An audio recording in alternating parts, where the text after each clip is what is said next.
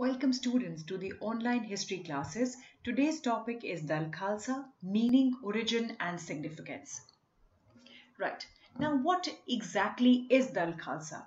Dr. Ganda Singh, an eminent historian opines, Dal Khalsa was the army established for the struggle for independence of Punjab. Dr. Hariram Gupta writes, Dal Khalsa was the first organized national army of the Sikh community. Another historian gives a simple explanation to the term Khalsa when he opines that it was a group of men capable to fight against the enemy in the third or the fourth decade of the 18th century. So now, when was the Dal Khalsa founded? What what actually it brought the newness in in that kind of political scenario? Now, foundation of Dal Khalsa in 1748 AD was an important event in the Sikh history. Its establishment infused new spirit and confidence into the Sikh community. It enabled the Sikh to boldly face the tyrannies of the Mughals and the Afghans. Due to the effort of Dal Khalsa, the Sikh were able to establish their independent misls in Punjab. In fact, it goes to the credit of Dal Khalsa that Sikh were able to come out of dark era and entered into an glorious era. So this is how we will start with Dal Khalsa. Its foundation was in 1748. It actually infused a new spirit, confidence in the Sikh community. They were now, they it, it actually enabled them to boldly face the tyrannies of the Afghans and the Mughals and a new chapter in the Sikh history was now to begin from the dark era to now a glorious era. Now, why did the Dal Khalsa originate? What was the reason? Why was there a need for a Dal Khalsa? First, the prosecution of the Sikh. Number two, organization of the Buddha Dal and the Taruna Dal. Renewed struggle between the Mughals and the Sikh. Organization, of Sikh after the death of Zakaria Khan. Repressive measures adopted by the Mughal governors. Invasions of Ahmad Shah Abdali. Now, first, prosecution of the Sikh. Now, after the death of Banda Singh Bahadur in 1716, the Sikh were left with no able leader to lead them. As a result, the Sikh could not keep themselves united. I had talked about Tat Khalsa and Bandai Khalsa. Now, the difference between the two was that after the death of Banda Singh Bahadur, the Sikh actually uh, organized themselves into two different communities. One Tat Khalsa who believed Guru Gobind Singh to be their Guru and Bandai Khalsa who believed Banda Singh Bahadur to be their next Guru. The people of Tat Khalsa, they wore blue colors. The Bandai Khalsa, they wore red colors. Tat Khalsa, they address themselves as Vaheguru Ka Khalsa, Vaheguru Ki Fateh. Bandai Khalsa address themselves as Fateh Dharam and Fateh Darshan. So now, under such circumstances, when the Sikhs are not united, they do not have any leader after Banda Singh Bahadur. Under such condition, the Mughal governors of Punjab, Abu Samad Khan, Zakaria Khan, they prosecuted the Sikh. Awards were announced for the head of the Sikh. The Sikh were arrested and martyred daily at Lahore. They were forced to take shelter in hills and forests. They had to face numerous hardships because at this time they were not united. They were there was one belonging to Tat Khalsa, there was one belonging to Bandai Khalsa. They were not united. They did not have a leader. So this is where the origin of the Dal Khalsa begins. This is where they could feel that they do not have any leader. And every day the Sikhs were arrested, they were martyred. They had no other way but to take shelter in hills and forests. Under such circumstances, they felt the need to organize themselves into jathas. So they grouped themselves into small jathas. Eventually, these groups or jathas formed the basis of the organization of the Dal Khalsa. Right. Now, the second slide which, which cause I'm talking about is organization of Buddha Dal and Taruna Dal. Now you might have a question in your mind that right now I was talking about Tat Khalsa and Bandai Khalsa but here I also want to mention that it was due to the efforts of Bhai Mani Singh in 1721 AD that he united both the Tat Khalsa and the Bandai Khalsa And by this time, when he did that, the Mughal governor at this time was Abu Samad Khan. And because of their united, their being united, they could actually face Abu Samad Khan. But of course, the prosecution continued and it continued even at the time of Zakaria Khan, the next Uh, uh, uh, the next governor of uh, Punjab, son of Abdul Samad Khan. So first governor general is Abu Samad Khan, appointed by the Mughal governor Farrukh Siyar. Now his son Zakaria Khan becomes the next Mughal governor. He was also with the same similar mission. He wanted to crush the power of the Sikh but when he did everything, he, he actually failed to crush the power of Sikh. Then he felt that let him compromise by Sikh in 1733. Thus, Sikh uh, got a golden opportunity to organize their power. In 1734, now what was the agreement that was signed between Zakaria Khan and the Sikh? He said that one, that one of their leader will be given the title of Nawab. So Kapoor Singh was given the title of Nawab and they will be given a jagir of 1 lakh rupee if they do not enter into any anti-Mughal activities. So by this time, Nawab Kapoor Singh, who was given Nawab a title by the Zakaria Khan, but by this time now he thought that let me organize these Sikh into two small jathas. Now what he did was he organized them into two dals. One, the Buddha Dal. Number two, the Taruna Dal. Now, what is this Buddha Dal? All the Sikh above the age of 40 years will be part of this group. So all the sick who are above 40, they will be part of this. Now what is their function? What will they do there? Their main function will be one, to look after the religious places. Number two, to propagate the Sikh religion. On the other hand, the next group that he made was Taruna. So clear, Buddha Dal 40 years and above, main function to look after the religious places and to propagate the Sikh religion. Tarunadal. The Sikh below the age of 40 years were recruited. Now this was somewhat you can say the younger version of this uh, Dal. Now what was their chief function? Their chief function was to defend the community and to fight with the enemies. Taruna Dal was now divided into five jathas, five groups and each group was placed under an experienced Sikh Jathedar. That means initially Taruna Dal was to have five subgroups.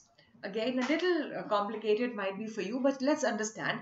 He makes two dal. उस उसने जो है दो दल बनाए एक बुढ़ा दल एक तरुणा दल बुढ़ा दल में आपके वो लोग हैं जो 40 years से बड़े हैं राइट उनका मेन फ़ंक्शन जो है डिफाइन किया गया। तरुणा दल जो 40 ईयर्स से कम है। अब तरुणा दल में ही, क्योंकि यंग पॉपुलेशन ज़्यादा थी तो उन्होंने जो है, इसके आगे पाँच ग्रुप बना दिए।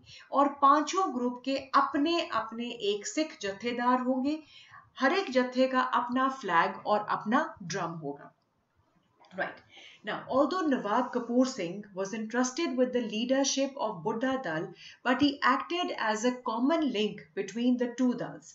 After having been united into two Dals, now they were able to intensify their activities against the government. Just a brief where we started for. Now, we had started with why Dal Khalsa was formed. What were the reasons? First is prosecution of the Sikh. The Dal Khalsa is the army. So why was it formed? Because after the death of Banda Singh Bahadur, they did not have any leader to take the to take up the case of, of to give leadership to the Sikh community. That is how they felt that they must organize themselves into small groups because what they were doing was they were just uh, they were whenever they were uh, arrested or they were martyred, they were forced to take shelter in hills and forests, right? Number two, this area, this idea of being organized into group was actually taken into action by Nawab Kapoor Singh in 1734 when Zakaria Khan, because he failed to crush the power of the Sikh, he compromised with the Sikh and he organized these two dals, Buddha Dal and Taruna Dal. And this is how in 1734 Nawab Kapoor Singh, because Zakaria Khan gave him the title of Nawab, gave gave the Sikh community uh, a jagir of 1 lakh per year. So 1734, Nawab Kapoor Singh organized these two dal, Buddha Dal and Taruna Dal. Now Taruna Dal, because the number was much more greater than the Buddha Dal, so this Taruna Dal was subdivided into five groups. Each group was placed under an experienced Sikh Jathedar and each group had its own flag and drum. Now, Nawab Kapoor Singh was actually uh, entrusted with the leadership of Buddha, Buddha Dal, but he acted as a common link between the two. Third, now, even when Zakaria Khan gave them the opportunity to have peace with the with the Mughal people, with the Mughal uh, rulers, now because uh, Nawab Kapoor Singh knew that it is it cannot be there. This could be only a temporary respite, a temporary kind of uh, you know uh, peace between the them between them. So he knew that more or less they have to organize themselves. They have to build up the stamina or the strength to face the mughal onslaught. So after organizing their power the sikh again started creating disturbance in punjab.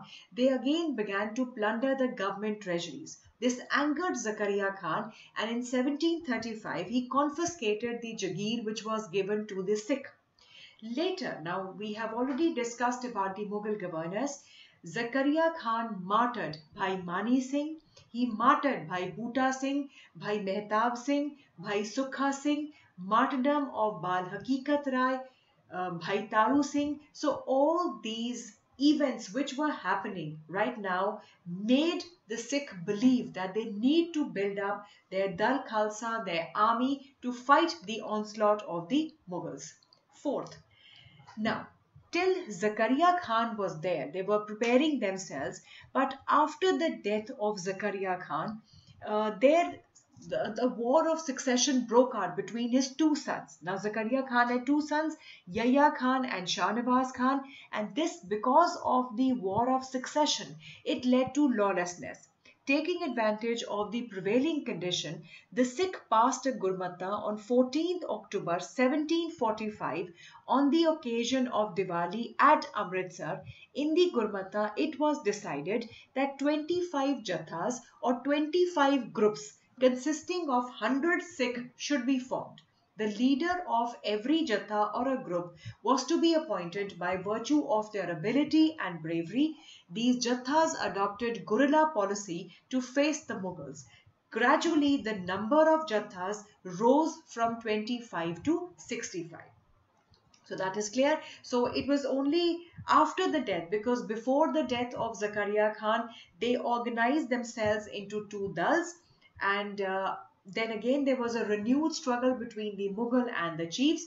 But how uh, Zakaria Khan martyred Bhai Mani Singh, Bhai Muta, Boota Singh, Mehtab Singh, Sukha Singh, Bal Hakikat Rai, Bhai Taru Singh, it was clear that the Sikh needed to organize themselves. And when they got the uh, the uh, actually when they got the uh, जिसे हम कहेंगे कि they got the um, idea, they got the uh, they got the um, what you can say is um, they got the opportunity. That was the word i was looking for. They got the opportunity to organize themselves. They took that uh, decision. And on 14th october 1745 they passed a gurmata that 25 groups consisting of 100 sikh will be formed and the leader of jatha will be appointed by the virtue of their ability and bravery. And gradually the number of jathas arose from 25 to 65 now, even though the Jathas increased, but the repressive policy of the Mughal governors continued. And now the next Mughal governor was Yahya Khan. The Mughal governors continued the repressive policy and hence weakened the organization of the Sikh. Now here I will be talking about the um, Chota uh, Ghallughara or the smaller Holocaust because all these events were shaping the establishment of the Dal Khalsa.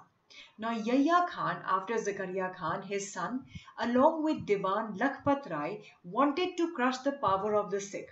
Divan Lakhpat Rai imposed many restrictions on the Sikh. No one could utter the word Guru likewise ordered, the, ordered to use the word Poti for Granth. Those who defied the orders were sentenced to death. With a view to decimate the Sikh, Yahya Khan and Lakhpat Rai raised a huge army. the Sikh, the army besieged 15,000 Sikh at Kanuvahan. The, the Sikh escaped from there and took shelter in the hills of Basoli. The Mughal forces gave them a hot chase. Here the Sikh were trapped in a difficult situation. On one side there were high hills, on the other side river Ravi was in full speed. The Mughal soldiers kept on chasing the Sikh and along with the Mughals even the hill Rajas started pursuing them. The Sikh here were short of foodstuffs, foodstuffs owing to shortage of water. The horses too were suffering from starvation. In this attack, 7,000 Sikh were killed and 3,000 were arrested. Even those who were arrested were butchered mercilessly. So this was the occasion which they realized that how much it is important to organize themselves to fight the onslaught of the Mughal forces. It was the first occasion in Sikh history when Sikhs suffered such a heavy loss of life. This incident is referred as the first Holocaust or the Chota Ghallughara which took place in 1746. Atrocities of the Mughal governors were increasing day by day. Last reason why they formed Dal Khalsa is the invasion of Ahmad Shah Abdali. Invasions of Ahmad Shah Abdali provided Sikh with much greater impetus to organize themselves. You would ask the question why? Because Ahmad Shah Abdali was involved with the Mughal governor Mir Manu at that time. So that means because the Mughal governor and Ahmad Shah was involved in these fights, this gave the Sikh an opportunity to organize themselves. The Mughal governor Mir Manu was involved with Ahmad Shah Abdali in the Battle of Manupur in which Mir Manu was victorious but this gave Sikh the time to organize themselves. So these were the reasons why Dal Khalsa was formed. Now when was the Dal Khalsa formed? On 29th March 1748, on the day of Baisakhi, Sikh gathered at Amritsar. Nawab Kapoor Singh suggested that in view of hard times ahead, there was a greater need for unity and strength of the Panth. Keeping this view in objective, this view, keeping in view this objective, Dal Khalsa was organized. Now we had already talked, uh, talked about this that uh, Taruna Dal which was 5 initially had now increased to 25 from 25 to 65. Now it was not very easy to organize these 65 groups or jathas so the 65 jathas were merged into 12 stronger jathas. Each jatha had its own separate leader and a flag. Now, how was the Dal Khalsa organized? Who could become the member of the Dal Khalsa? Let's start that. Now, Sardar Jassa Singh Ahluwalia was appointed as the supreme commander of the Dal Khalsa. Lots of people write Nawab Kapoor Singh. See, Nawab Kapoor Singh only established Dal Khalsa, but the supreme commander of Dal Khalsa was Jassa Singh Ahluwalia. Now, who could be its member? Every Sikh who had faith in the principles of Guru Gobind Singh Ji was considered to be the member of Dal Khalsa it was expected of every Sikh who joined Dal Khalsa to be expert in both horse riding and use of weapons. And anyone, anyone can become the member of Dal Khalsa. He only has to believe in the principles of Guru Gobind Singh Ji, but he has to be an expert in both horse riding and use of weapon every member of Dal Khalsa was at full liberty to join any jatha. He could he could even you know leave one jatha and uh, become part of another jatha. So there was a full democratic uh, element in in Dal Khalsa. Now the other question which comes to our mind is then how, what what would they be doing if they have a common enemy? Suppose Ahmad Shah Abdali invades on them. So how would they fight? Now at the time of the war one of the 12 Sardar was selected as the chief of the Dal Khalsa and other Sardars compiled with this order. Now one must wonder that was there any institution to execute what these decisions were done? No, there was no institution to execute. Why? Now, the meeting of the Sarbat Khalsa, that is the entire Sikh community, was held every year on the occasion of Baisakhi and Diwali at Amritsar. Sarbat Khalsa meant the whole Sikh Sangat. In this meeting, Gurmatas on matters of vital importance were passed in the presence of the Guru Granth Sahib. So when we say Guru Matta, it means the advice in the presence of the Guru. So because it had the presence of Guru Granth Sahib, it had the seal of Guru Granth Sahib, there, there was no need for a mechanism to execute the orders because the Sikh considered their duty to abide by the Gurmatas. So these are some of the important elements. Any person, any Sikh who had faith in the principles of Guru Gobind Singh Ji could become the member of Dal Khalsa. He was to be an expert in horse riding and use of weapons. Every member was at full liberty to join any Jatha. At the time of the war, any of the 12 Sardar was to be selected as the chief and the other Sardar compiled. How the decision was taken, the Sarbat Khalsa, which meant the whole Singh Sangat, would get together on the occasion of Baisakhi and Diwali at Amritsar. The decisions would be taken on important matters. They were called as the Gurmatas because those decisions were taken in the presence of Guru Granth Sahib because Guru Granth Sahib was very much uh, sacred for the Sikh. So there was no need to execute the order. They, the Sikh thought it as their duty to abide by these Gurmatas. Now, the last part of this answer would be the features of the military system. Now, we have talked about why Dal Khalsa was formed. We have talked about that what were the principles, how could one be a member of Dal Khalsa. Now once you are the member of Dal Khalsa, what are the features of the military system under that? Under this, we will be talking about six subheadings, cavalry, infantry, absence of artillery, recruitment and discipline, salary and the mode of fighting. So first is cavalry. Cavalry was an important organ of the army of Dal Khalsa. In fact, we had studied the very first condition to join Dal Khalsa was that he should be a good horse riding and must know about the uh, artillery as well. Then the horses were well trained. They could cover a distance between 50 to 100 miles in a single day. Then is infantry. Now infantry was least important. Now, when I will discuss uh, Singh eh, for the next semester, you will understand that it was only Ranjit Singh who actually made infantry equally important. But till then, infantry जिसे हम हिंदी में कहेंगे पैदल सेना that was not important in दल Khalsa because their function was only limited to guarding or keep watching on these uh, important uh, monuments or important things, the Sikh did not consider it worthwhile to join this wing of the army. And it is only under Ranjit Singh you will find that infantry will be uh, will be taken up as in to make it as the uh, most capable part of the Sikh army.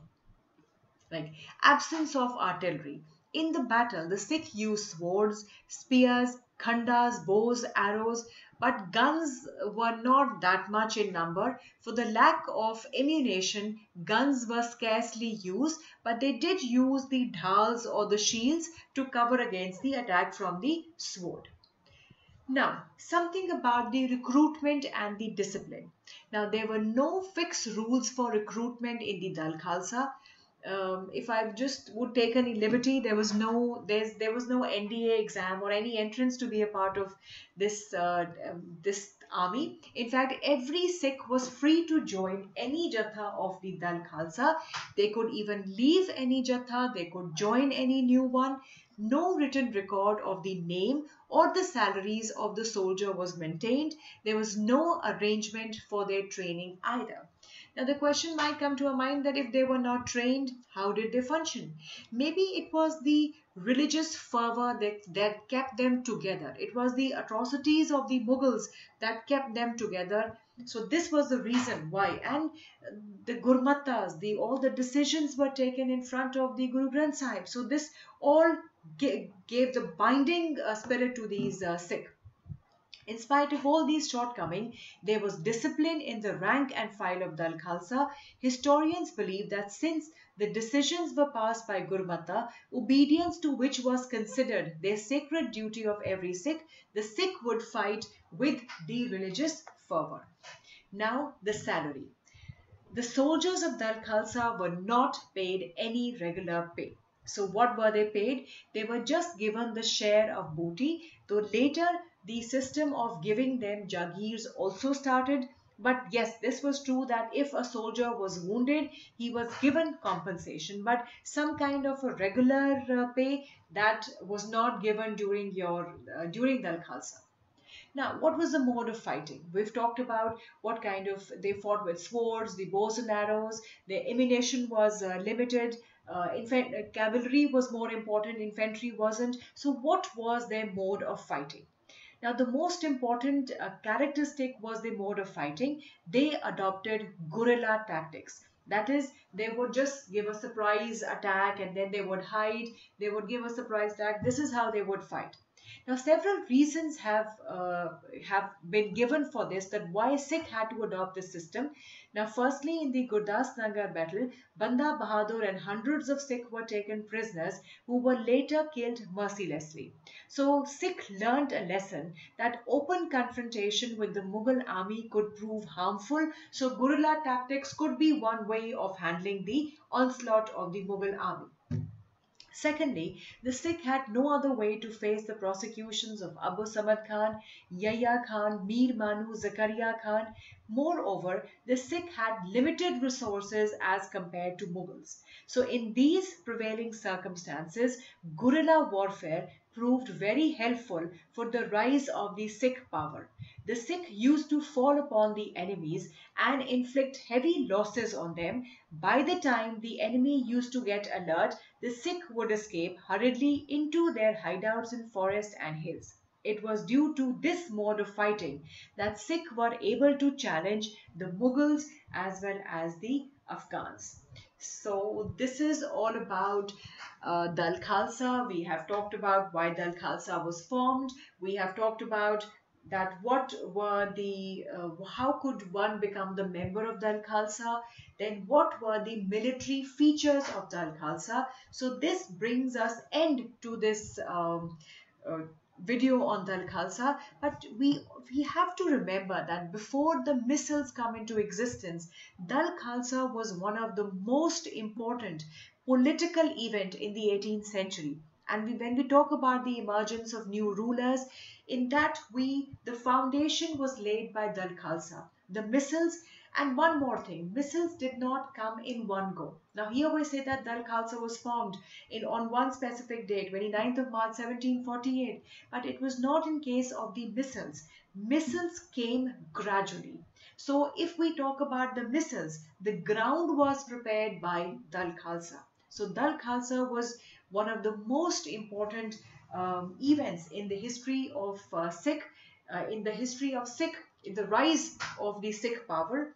So this is an important question and I would again request you to go through the slides one or two times, then go back to your books. A lot of people, a lot of students just ask me that what am I saying in my slide is not in their books. It is not true uh, when I choose my slides, whatever I write, I make sure that majority of the history books are talking about it. So I'm sure maybe that particular point has been mixed up with your point in your book. So you may read both the book and my slides and I, I, I think you will able to understand the topic quite clearly. And once you understand, please go back to the, the set of questions I've given you. Try to see if you are able to answer those questions. My next uh, video will be on the misls and I suppose this will be the last video for the students of semester 4 BA semester 4 so again thank you so much for watching this video any kind of comments please put your comments negative positive in the comment section. I'll be more than happy to uh, hear your comments. And if you have any queries please do uh, let me know. I'll be more than happy to answer all your queries. So thank you so much. See you once again with a new video on misls and that probably will be my last video for ba semester 4